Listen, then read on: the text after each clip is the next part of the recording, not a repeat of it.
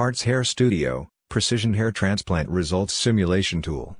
Precisely calculates the number of grafts required for any grade of baldness, simulates post-procedure results for different number of grafts, and different treatment plans, and creates multiple treatment options customized for your patient needs.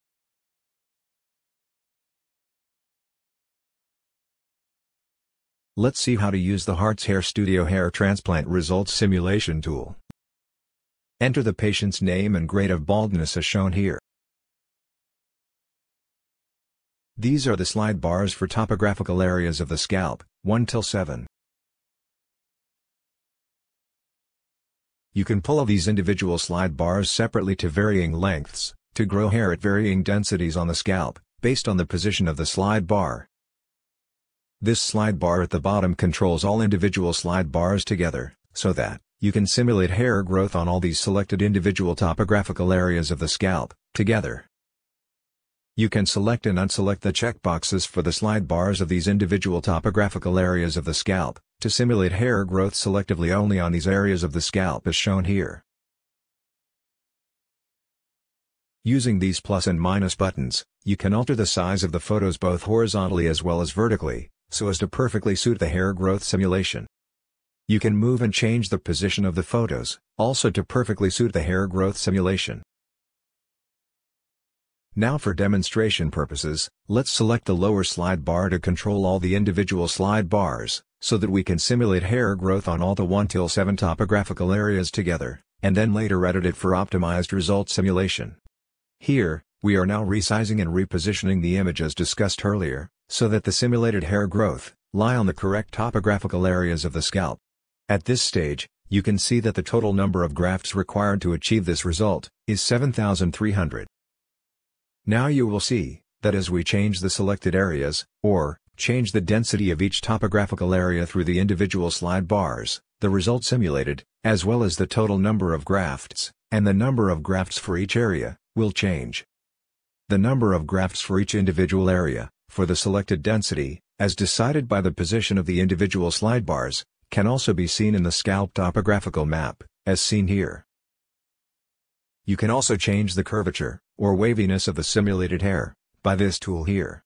Select this tool, move it to the desired position, zoom it to a desired size, and lock its position. Now, you are all set to change the waviness of the simulated hair.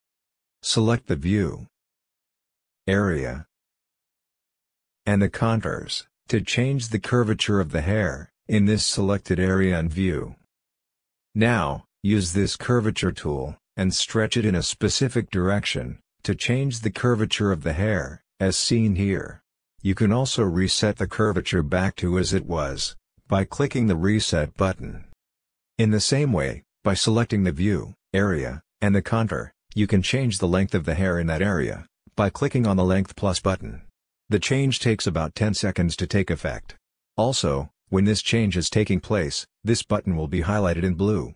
Do not click this button repeatedly. You should only click this button when it is not highlighted in blue. Clicking it when it is highlighted, will not change the length of the hair.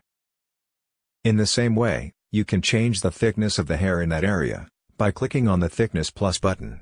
The change takes about 10 seconds to take effect. Do not click this button repeatedly.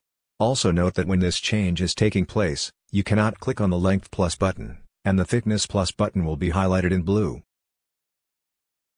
You can also change the color of the simulated hair by Color Palette tool.